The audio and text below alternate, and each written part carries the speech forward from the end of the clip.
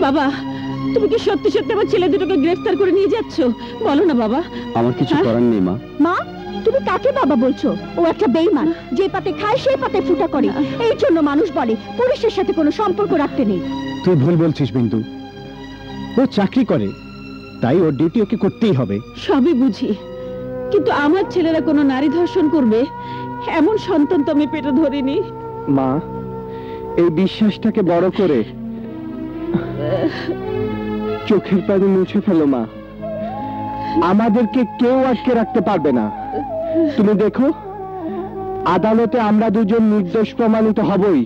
Order order মাননীয় আদালত, সাক্ষী প্রমাণে প্রমাণিত হয়ে গেছে, এই দুই নরপশু আমার ফুলের মতো দুই মক্কেলকে ধর্ষণ করেছে। সেখানে আর কোনো দ্বিধা নয়, কোনো সংকোচ নয়। আমি মাননীয় আদালতের কাছে আসামিদের বিরুদ্ধে কঠিন শাস্তি দাবি করছি। যে শাস্তি দেখে ভবিষ্যতে আর কোনো নরপশু এমন জঘন্য অপরাধ করার সাহস না পায়। দ্যাটস অল ইউর অনার মাননীয় আদালত, আমি শাস্তি চাই। ওই নরপশুদের শাস্তি দিন। শাস্তি দিন, মাননীয় আদালত। শাস্তি দিন। শাস্তি দিন শাস্তি দিন।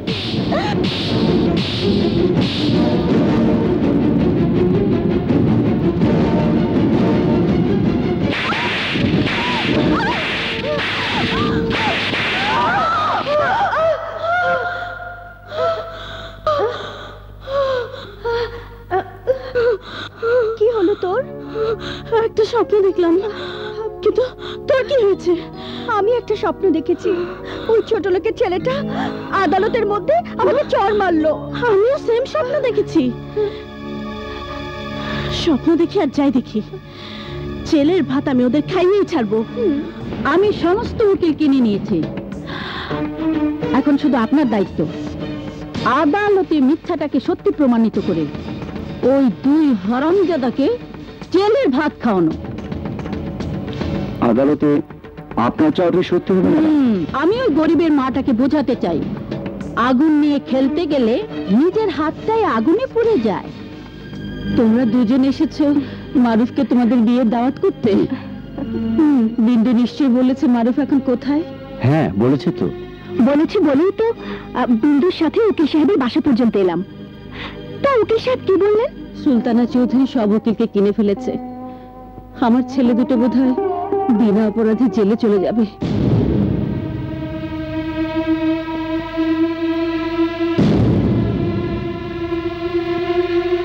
ভাবসাব দেখ শালা রেপ কেসের আসামি মনে হচ্ছে ভাজা মাছ উল্টে খেতে পারে না।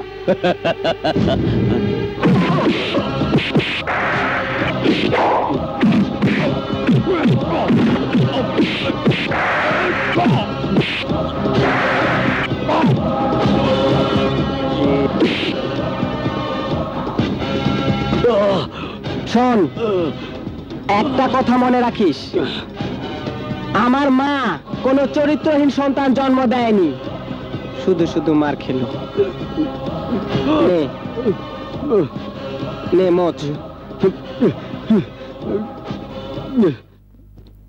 মা, তুমি কেঁদো না তো। তুমি কাঁদলে আমার কষ্ট হয়। কেঁদো না মা।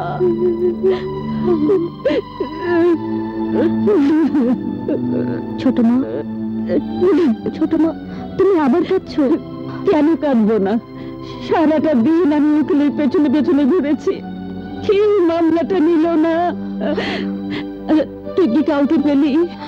পাইনি। তারপরে বলছি, মারুফা রাজুর কিচ্ছু হবে না। কেন বুঝতে চাচ্ছ না মা?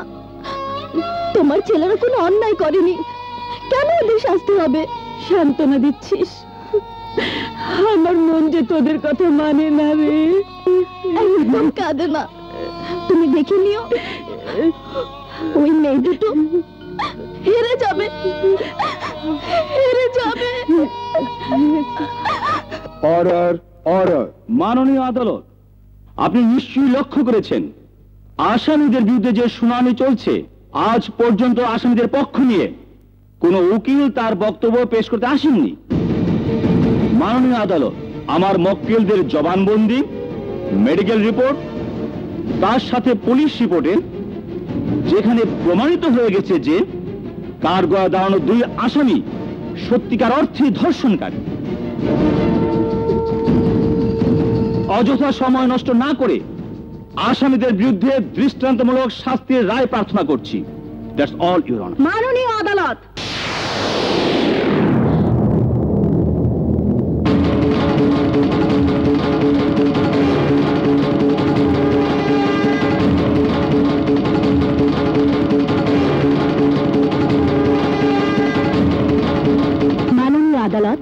কবিতা।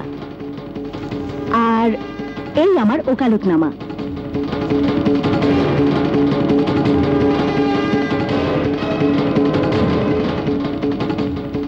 মাননীয় আদালত, আমার প্রতিপক্ষ বন্ধু যেখানে শুনানি শেষ বলছেন, আমি সেই শেষ থেকে শুরু করতে চাই।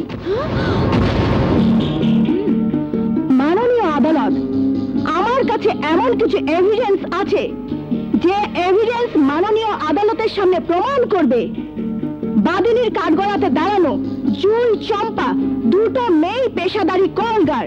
মিথ্যে কথা মাননীয় আদালত। আমরা কলগার নই। ওনার কথা বিশ্বাস করবেন না মাননীয় আদালত। মিথ্যে কথা মাননীয় আদালত। আপনি বসুন।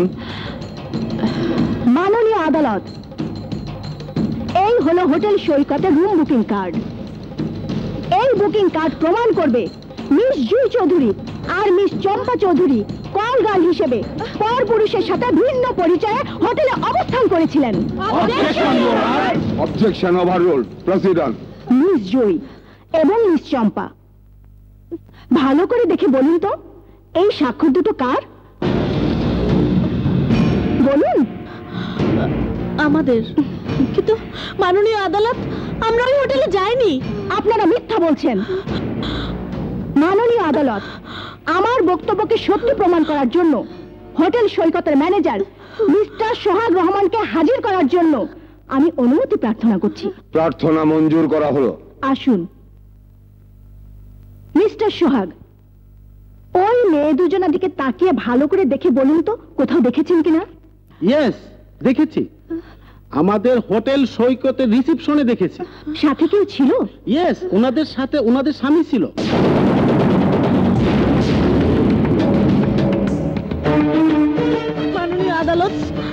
বিয়েই হয়নি স্বামী আসবে একদম সত্যি কথা। মাননীয় আদালত ওই পুরুষ আসলেই স্বামী ছিল না সাজানো স্বামী ছিল।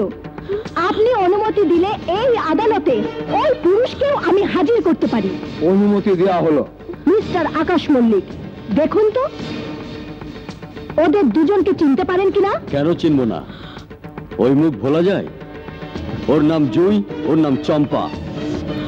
আমার জীবনের সর্বনাশা দুটো নাম। মিথ্যে কথা মাননীয় আদালত! মাননীয় আদালত এই মিথ্যে নাটক বন্ধ করতে বলুন। আপনি বসুন নইলে আপনাকে আদালত ত্যাগ করার আদেশ দিতে বাধ্য হব। এই দুই মেয়ে আমার কোটি কোটি টাকা হাতিয়ে নিয়েছে। আমি তোকে খুন করে ফেলব! মিস এটা চিৎকার করার জায়গা নয়। মাননীয় আদালত এক আকাশ নয়। দশটা শিল্পপতির ছেলে আকাশকে এভিডেন্স সহ এই আদালতে আমি হাজির করতে পারব। আমি প্রমাণ করে দেব, জুই চৌধুরী আর চম্পা চৌধুরী নেশা এবং পেশা দুটোই দেহ ব্যবসা করা। বন্ধ করুন! এই মিথ্যে বানোয়াট গল্প বলা বন্ধ করুন! মাননীয় আদালত, আমি আর আমার বোন স্বীকার করছি। মারুফ আর রাজুর বিরুদ্ধে আমরা যে মামলা করেছি, এটা মিথ্যে মামলা। এবং উনি যা বলছেন, সেটাও মিথ্যে। মাননীয় আদালত, মিস জুই আর চম্পা চৌধুরী যখন তাদের মামলা মিথ্যা মামলা বলে স্বীকার করে নিয়েছে, তখন আমিও স্বীকার করছি। আমি যা বলেছি, যা প্রমাণ দেখিয়েছি, সব মিথ্যা। মাননীয় আদালত, আমি যদি এই মিথ্যাটা নির্ভুলভাবে আদালতে প্রমাণ না করতাম, তাহলে এক দুঃখিনী মায়ের নিষ্পাপ দুটো সন্তান আইনের মার প্যাচে পড়ে কম করে হলেও সাত বছরের জন্য জেলে চলে যেত। মাননীয় আদালত, আমি আমার মিথ্যা বক্তব্য পেশ করার জন্য মাননীয় আদালতের কাছে ক্ষমা প্রার্থনা করছি। একই সাথে বিনা শর্তে আমার মক্কেলদের মুক্তি দেবার আবেদন করছি। আসামিদের বিরুদ্ধে মামলাটি মিথ্যা প্রমাণিত হওয়ায় মারুফ হাসান ও রাজু হাসানকে বেকসুর খালাস সহ মামলাটি খারিজ করা হলো।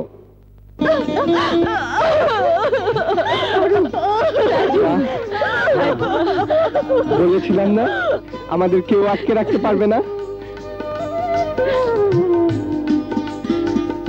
মা, তুমি আমার দুই ছেলেকে আমার বুকে ফিরিয়ে দিয়েছ।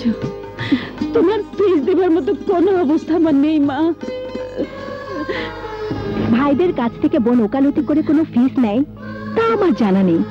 যদি কেউ নেয়, সে দলে আমি না।